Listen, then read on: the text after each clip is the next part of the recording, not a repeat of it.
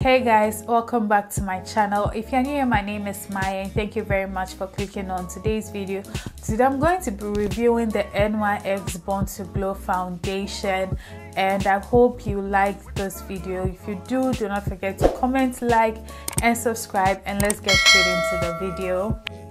So um, before um, we start with the video i'm going to show you this is what the foundation looks like um, I've got the shade Deep Espresso and I also got um, the concealers, the Born to Glow concealers and I got the shade for contouring, I got Deep Espresso and then um, for for highlighting I got Caramel.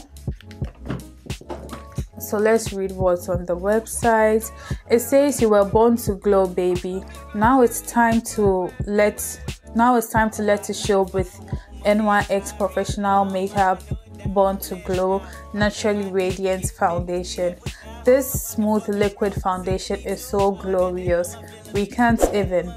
It's a buildable medium coverage glow foundation and we are so we are so proud to offer it in inclusive range of 45 fluttering shades.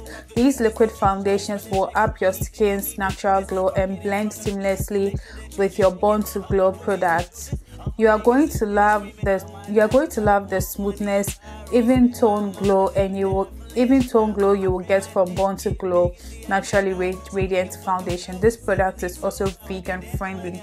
I feel like for a drugstore product, it has a lot of claims, but it is $10 and you can find this in your beauty supply shop, drugstores, NYX website, or wherever. I'm also going to put the currency conversion in euro and Ghana cedi and zloty up on the screen. I, I, have to say that I already tried this foundation, I believe, um, two or three weeks ago, but I didn't like how the footage turned out. It has nothing to do with the foundation, let me say. So I decided to like refilm this whole review again. And I've got the Shape Deep Express. Um, I saw Thandi Gama use this foundation first and I really liked how it came out on her face. And she was in her video, she mentioned that if you are if you have the NYX Can't Stop Won't Stop, um, the person over there told her to go either a shade a shade a shade darker no a shade lighter because of the shade ranges between the Can't Stop Won't Stop and the um, NYX Born to Glow. So I actually went one shade darker, which is why I got um, Deep Espresso. But one thing I noticed is that it was um, very dark. However, it is not bad to have a dark foundation provided that you are going to contour and highlight and do everything. It's always it's always best to have a darker foundation because you know the contour and the highlighting will you know um, blend it all out than when you have a lighter foundation. Unless you just want to have like um, a no makeup makeup day and just wear foundation then it will be better to like try to get your correct shade match. So i actually don't mind that. It is darker. And i also don't have anything on my face. I have dry skin just in case you want to use me as your, your shade reference or skin reference. I have dry skin and i just have moisturizer on my face. I feel like i look oily. I'm looking at the screen and i look oily but it doesn't feel like that. So i'm going to swatch this for you to see how it looks.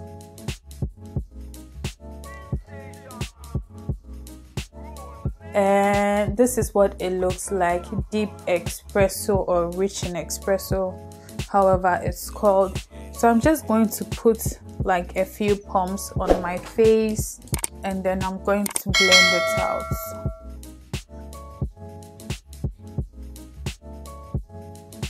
And also i didn't color correct or anything. Personally i don't like to color correct or do any of those things because hyperpigmentation is real. And also um, one thing about foundation is you should always realize that as a person, hyperpigmentation is real.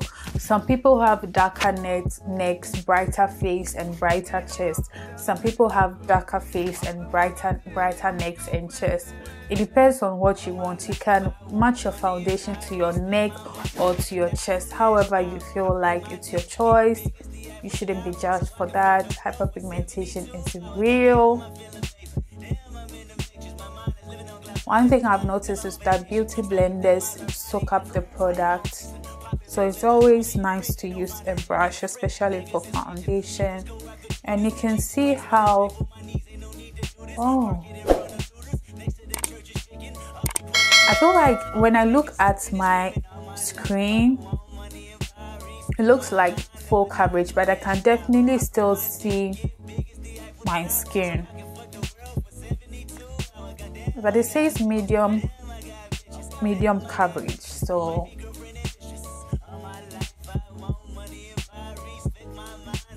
And you can definitely build this up if you feel like and it blends very nicely as well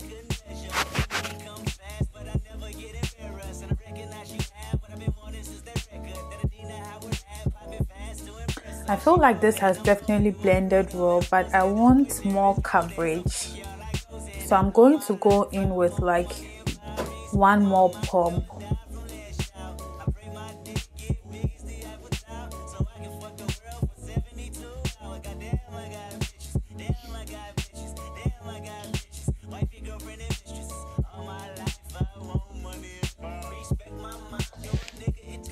Now let's go to the concealer.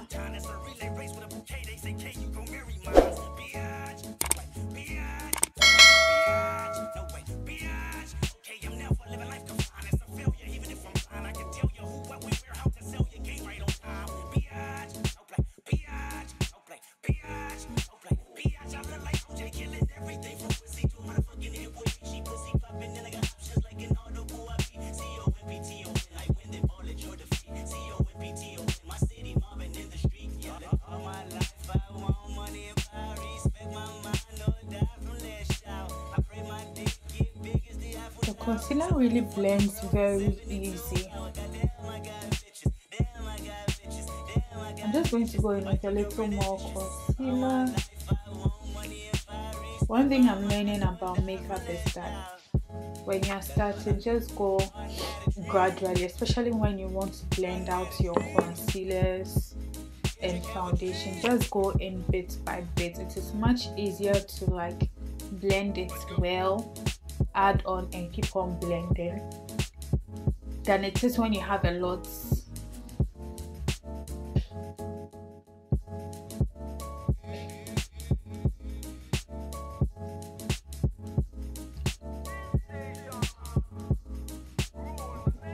And then I'm also going to go in and contour straight up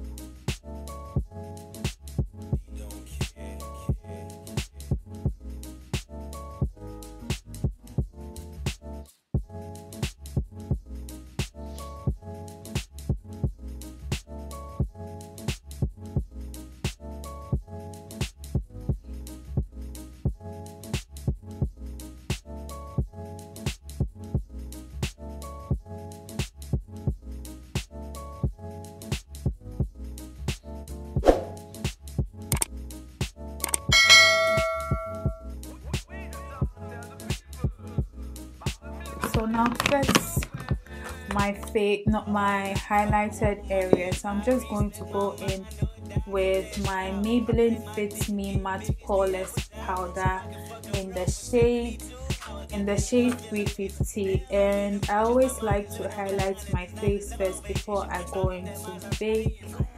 So i'm going to place my eye and get the powder in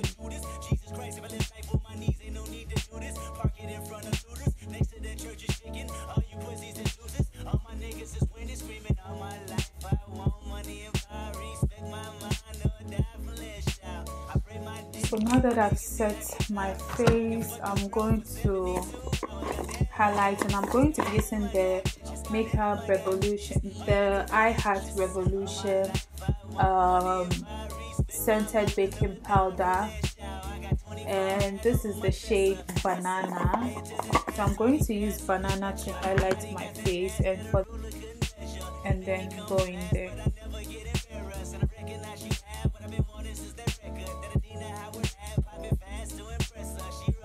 I'm going to use a contour um, brush and I'm going to use this um, contour palette I got from Inglot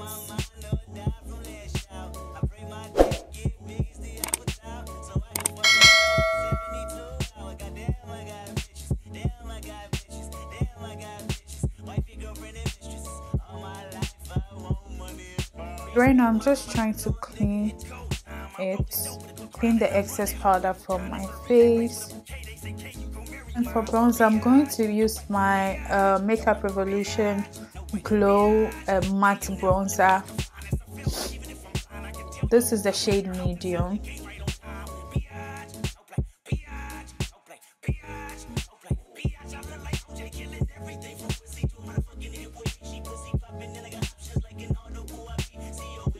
then I'm going to finish off the rest of my face off camera my lashes and do my lips and I'll be back to give you the final verdict so it's been almost three hours now since um, I finished my makeup and this is what my face is currently looking. If you have dry skin i do believe that after three hours this is how your face will be looking unless you are in the sun and you know you are you are doing something very hectic to sweat. But if you're like sitting in your office and chilling i believe um, your foundation is going to stay put. Um, all the other products i use here blended in um, very nicely and I'll see you in my next video. I also filmed this eyeshadow tutorial. If you want to see it, definitely head out to my Instagram and there's a video here on YouTube which I'm also going to um, link it down below. So I'll see you in my next video. Bye.